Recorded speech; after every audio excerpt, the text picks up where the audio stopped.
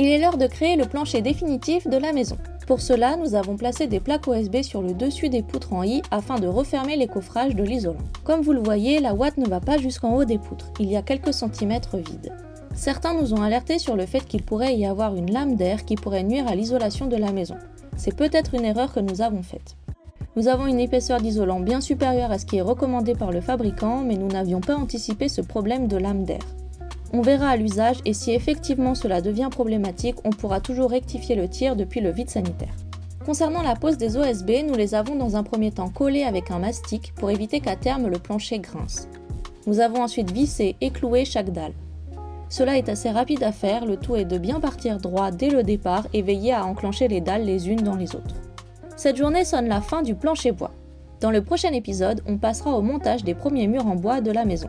Retrouvez la vidéo complète sur notre chaîne YouTube et abonnez-vous pour voir la suite du projet.